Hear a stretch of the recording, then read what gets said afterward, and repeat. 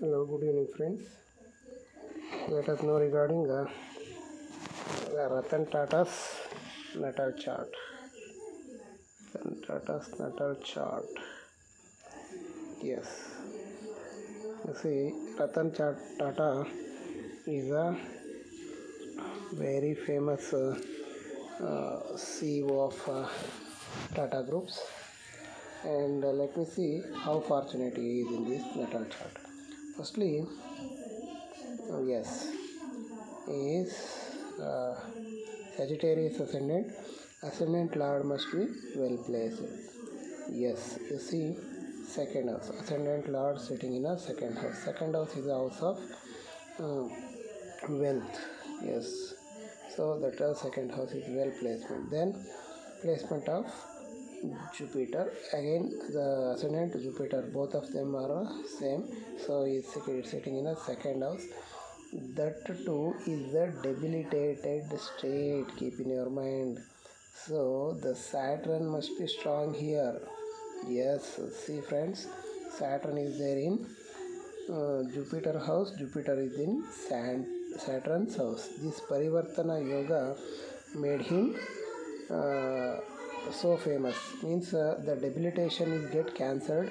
Why? Because this uh, deb- the debilitated sign lord sitting in a Kendra. So the again the debilitation is get cancelled. So Jupiter giving the results of exal- exalted planet. So next, uh, uh, you see next important planet is uh, Mars. You see Mars is a what you call a courage-giving planet. Mars is sitting in the third house. Third, third house is uh, very courageous and adventurous. You can do work in a very good manner. And uh, uh, yes, Moon in the eleventh house. Eleventh house is the gains. So moon in the seventh house is the mind is always uh, concentrated on the gains. So is the thoughts is thoughts always yield a uh, positive results. Why? Because moon is there in the eleventh house. Yes, Rahu is the obsession. Rahu is an attachment.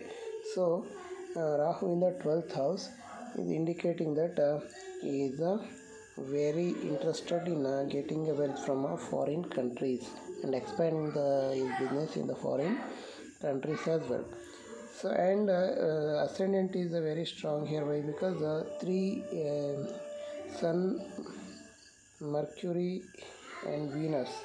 Uh, three of them are sitting in that ascendant. That made his personality very strong. You see, Sun uh, being a ninth lord is very auspicious, sitting in the first house. Trikona lord sitting in the first house is very uh, good. Whereas uh, Mercury is the seventh lord and eighth lord. Sorry, second seventh lord and tenth lord. Both of the partnership and uh, job, both of them. Uh, I came to first house that Kendra Lord coming to Kendra again it's a good uh, one.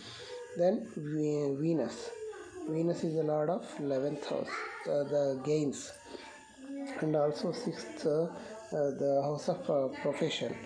So this uh, uh, this uh, the important planets make him so much famous. Okay thank you friends. I hope you understood this thank you very much being with me. And please share subscribe and comment on my videos. Love you all. Thank you